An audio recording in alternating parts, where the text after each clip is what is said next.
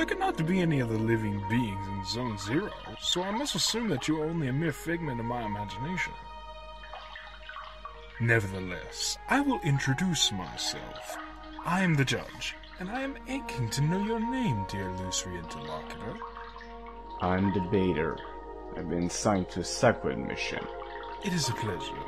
However, it is not the puppet I was addressing, but the puppeteer controlling it. What is your name, dear puppeteer? Their name is the player. They can't talk to us. However, they can hear and see everything.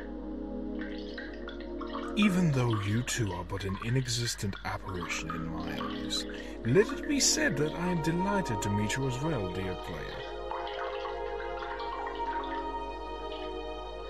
I believe we are in need of your services. Many people are in need of my services. Everybody loves cats. We rub ourselves against their legs and purr in the most insistent manner.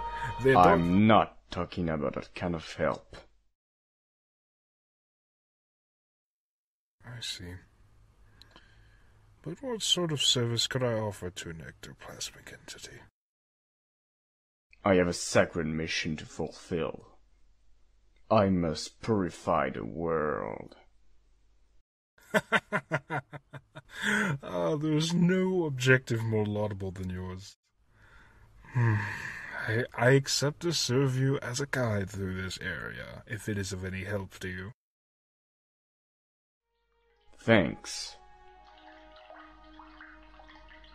Allow me to confess that I find you quite tangible for a phantasmagorial being. Might you in fact be a creature of flesh and blood? I think so. Yes. So I have been mistaken from the beginning.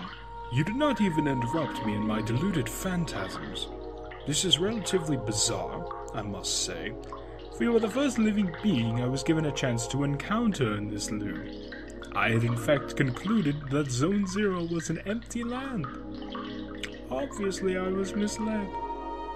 However, there exist other zones in those territories. The risk of hostile individuals attacking you in the most violent manner is quite high. Your sacred mission will likely lead you into these lands. Would you like me to teach you the art of violent confrontation? Okay. Your opponent in this case will be yours truly. You have a choice, dear puppeteer. You can decide whether to attack, allow your puppet to fight on his own, or flee. As its name indicates, is the option of the coward. I dehold this alternative, but remember solely the batter is responsible for that option in his personal menu. Now is the time for offense. Try to strike a classic bat blow to my teeth. Excellent, dear sportive companion. Try to catch up.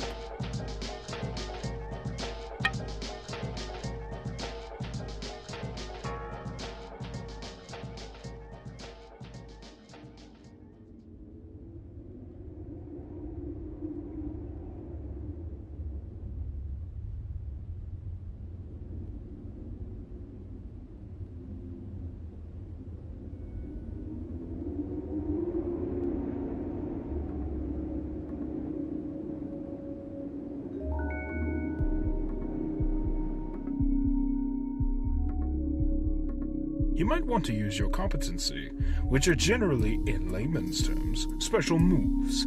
They can trigger surprising effects such as induce a resurgence of health, or may be in and of themselves powerful attacks.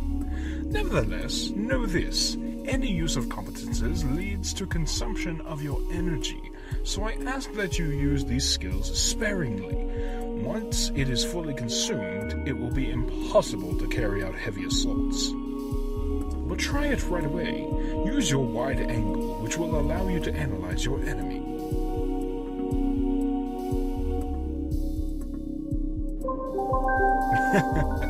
you now know not only all about me, but also about the art of combat.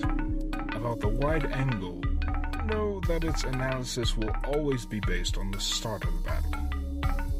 Try to utilize an object. Take this luck ticket and use it on the batter's person with gratitude.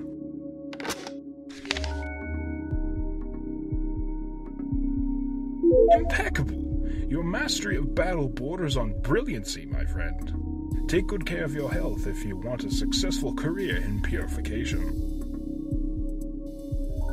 From now on, you will be ready to crush all impure obstacles that get in your luminous mission's way.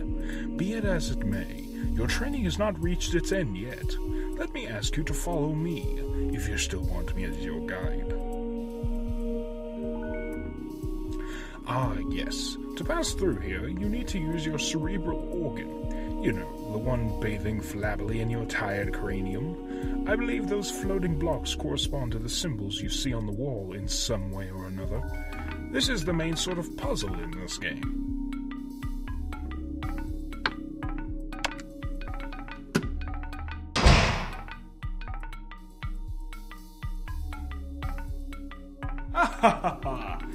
Finally, after all that exertion, the eagerly awaited recompense makes its entrance to the scene.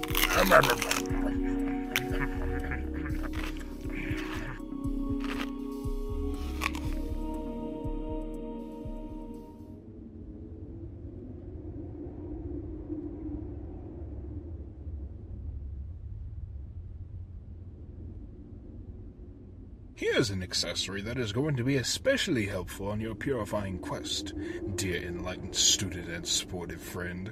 It is a cube hovering in midair, as you have likely noticed. Nevertheless, you will be able to differentiate it from similar ones by the contrast of bad taste it imposes on your view of its dashing color. However, do not judge it too quickly, because despite its criticizable appearance, this cube is of undeniable use. Aside from rendering you the entirety of your health and energy, it is capable of saving your progress and sending you to the nothingness. The nothingness is a lieu of transition outside of space itself, where you can travel from one point to another at the speed of light. I now invite you to try it out. Okay.